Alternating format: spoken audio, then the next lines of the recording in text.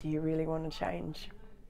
Are you tired of, of struggling? And if you are, there's, there's avenues to take.